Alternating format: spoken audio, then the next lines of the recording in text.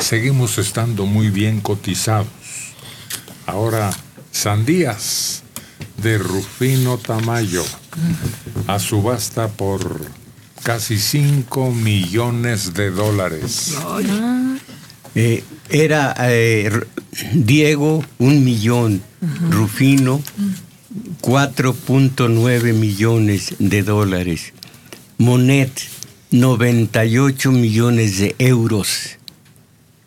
Caramba, hay su diferencia. Bueno, pero de todos modos que un mexicano por un Destaque. pedazo de lienzo con sandías, Son las sandías más caras. 10 millones, y no le puedo ni siquiera probar. Sí, Pero eso no, no, no, no se me hace la gran cosa para, en mi gusto de Tamayo, sino los animales estilizados. Hay uno que se llama Perro ladrándole a la luna. Yo daría hasta 200 pesos por él. Uy. Por el perro, dice.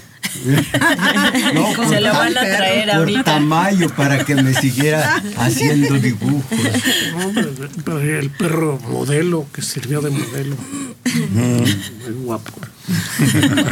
pero, pero allá apenas, apenas distingue que es perro, apenas distingues que es luna, y lo que sí distingue es fácil que es tamaño.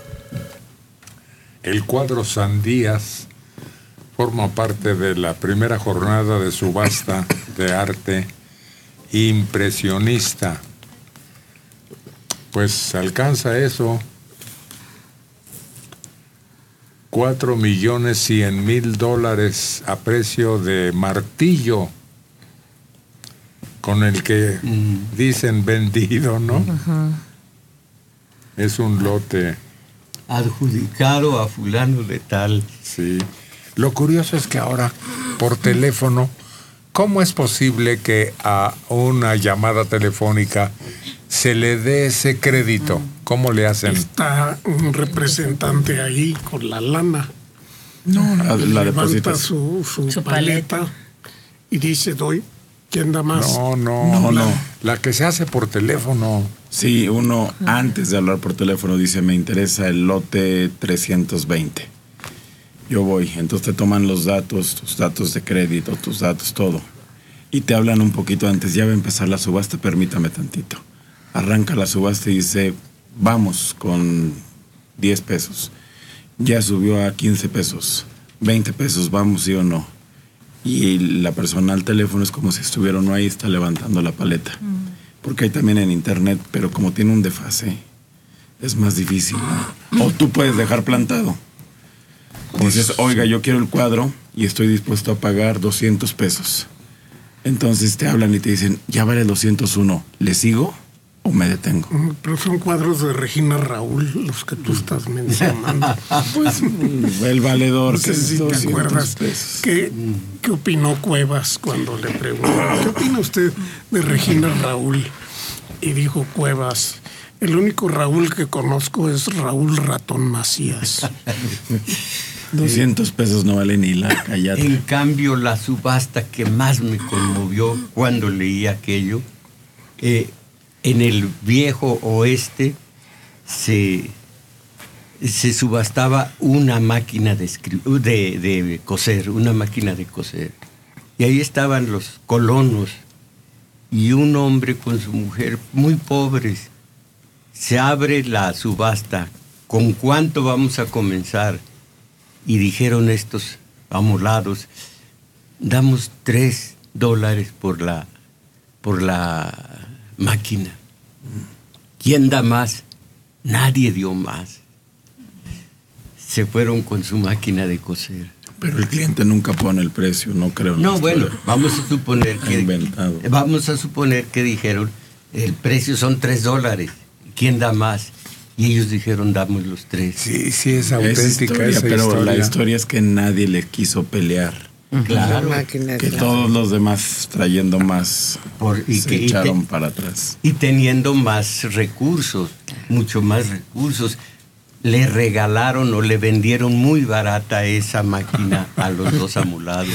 las que son una pura tranza, por lo menos en la época en que yo fui, las del Monte de Piedad, Héctor. Ahí ponen las banquitas y ahí va uno, se sienta y nunca le llegas a un grupo de coyotes que está ahí. Además ya saben, Sí. el tope, el mínimo, quién. Eh, Te revientan porque son tres contra uno. en el Poliforum Siqueiros hubo un acto de estos y me nombraron el de la el del mazo, no del no, de- no de aquel. Y empecé quién da más y nadie daba por ningún cuadro y era para una obra benéfica que no me acuerdo cuál. Total al último acabé yo dando tanto por un bello cuadro que ahí tengo y fui yo el único que compró vendido a mí. El único que cuando ya me figuré, me figuré que era justo el precio, di el martillazo. No, hombre, desde que La donación es cuando es injusta, cuando es noble, cuando es deja al hombre pues yo me yo bien tengo parado, indigno. y, y la obra valía, digo yo, a mí si no tiene magia, sea lo que sea el arte, si no tiene magia no me gusta. Ujú. Y era una especie de pueblo con, bueno, pues, que no era pueblo, de un pintor que no era pintor, de todas maneras. Y un yo- comprador que era yo- falso que no era yo- yo comprador. di un- entonces estaba, se usaba mucho. Yo di un cheque que creo que era falso. Ay, ca- Sin fondo. Nuestro amigo Pedro Brul tuvo una etapa de artista Sí. y hacía máscaras y hacía y- y óleos y hacía y puso su exposición, hizo una subasta precisamente en el Poliforum. Sí. Claro, vendió a sus amigos, pero se acabaron sus amigos, entonces eh, trató de hacer una subasta. Pero vendió a sus amigos, pero cuadro ninguno. No, no, eh, eh, también había vendido a sus amigos, pero sí ven- les vendió cuadros a sus amigos. Eh, pero fue la única subasta que, que iban bajando. Mismo no te acuerdas que traía sus cuadros. Héctor se debe de acordar. Que los traía con un precio marcado o sea, en la parte de atrás. Y lo tachaba. Y le ponía otro precio. Y lo tachaba y le decía a Héctor sobre todo. Pero a ti, mi querido Héctor, te lo dejo en tanto. Eran unas másca- máscaras polinesias que hacía. No, los cuadros a mí me gustan. Aquí en el centro de la capital había negocios que hacían ese tipo de subasta y llegabas y había donde sentarte y una lámpara y un adorno y un cenicero y, y era muy divertido, ya se acabaron. Hay otro tipo de subasta también muy curioso porque se hace en las ferias, Ah. en donde un vendedor saca un tambache y dice, ¿quién me da 200 pesos por esto? Pues no, no sé. Y agarra otra pieza y la agrega y dice, a ver, 200 pesos. Ah, se les hace todavía caro, agarra otra prenda, otro artículo y lo pone y va haciendo un bonche. Y no falta quien es convencido porque le va agregando. ¿Esas las han visto, esas subastas? Sí. Son muy interesantes. Eh, vi en internet esta subasta, cierta o no, en España. Y esta subasta estaba, hay un puesto de trabajo, ¿quién, por cuánto o, qué sueldo pretende? Y alguien dice 100, otro dice yo 90, otros uh, van bajando y uno dice yo además horas extras y dice otro yo trabajo también el domingo. Están bajando porque se supone que en un momento no había puestos de trabajo. Cierto o no, es ilustrativo. ¿Se acuerdan de aquella subasta donde rematan a Sofía Loren en una feria? Sí, por un beso y pasar la noche. Y el novio está celoso, celoso. Sofía Loren. Arno Ponti. Sí. Y ese era de armas tomar, ¿eh? Pero el de la feria le exige, tú eres el premio y tienes que cumplir.